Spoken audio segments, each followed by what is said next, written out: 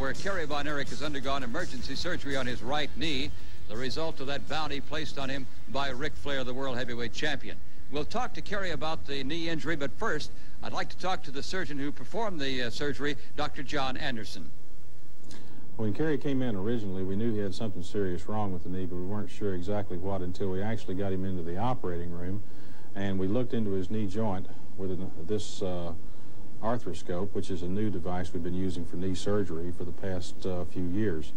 After looking in with the arthroscope, we could see that the extent of his injury was that on the surface of the knee joint, this being a knee model, in this area right here, on the surface of the joint, which actually bears weight, there was a large chip of cartilage off the surface, which had been uh, caused by the injury.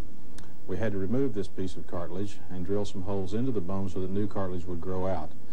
Um, this operation usually works very well, but it will take a while for that to happen. So for three or four weeks, he's not going to be able to actively participate in uh, the sport he usually does, which is wrestling.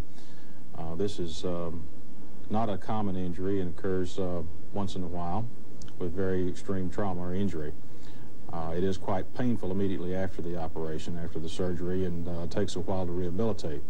However, uh, Kerry's an awfully fine athlete and uh, certainly in good shape uh, and shouldn't have any problem at all in recovery. So we can look for him back uh, in a very short time. Then. I would think so, uh, within a, certainly a few weeks. Again, Kerry, is the knee bothering you? Is it painful right now? My knee is painful, but Bill, the biggest aspect of it is is the mental um, torment I'm going through right now. You know, I've been through one of Flair's bounties, and uh, I figured if I go through one, since I went through some of the best competition in the world through the first one, I could make it through the second one. And I know he denies the bounty, but it's obvious it was a bounty. Looking at the pain and the situation and now the rehabilitation, would you say it was worth the $10,000 bounty to do this to a person? Yeah, from Ric, Ric Flair's aspect of it, I think it was worth more than 10 grand to him. Um, to me, it wasn't worth nothing because I'm going to be back 100% in six weeks. And I'm coming after Kabuki and Ric Flair. With everything I got, I'll come back 110%, not just 100, 100%. And um, I'll be the next world champion, injury or no injury. So, ten, uh, Ric Flair just lost $10,000.